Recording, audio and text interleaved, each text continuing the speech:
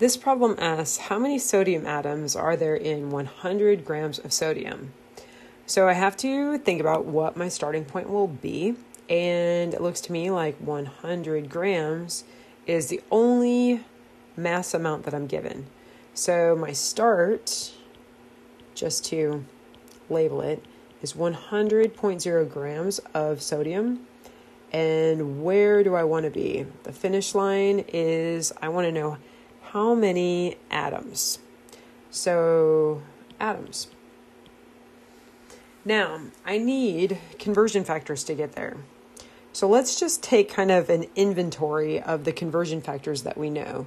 So I'll just write conversion factors here. And the periodic table will tell us that one mole of any element, it tells us how much a mole of any element weighs. So if we look over here at sodium, it's really small, but one mole of sodium is the same thing as having 22.990 grams of sodium.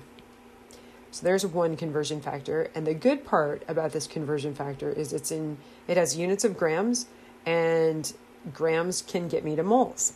But my final answer is atoms. So I need another conversion factor. And luckily, I know that one mole of any element is the same thing as having 6.022 times 10 to the 23rd items or atoms of sodium. So we've got our second conversion, and it gets us from moles to atoms. All right, so it's time to solve the problem.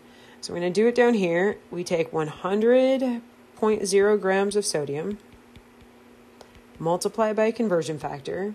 I'm going to pick this conversion factor right here. I guess I'll just circle it. And that means I put the 22.990 grams on the bottom and one mole goes on top.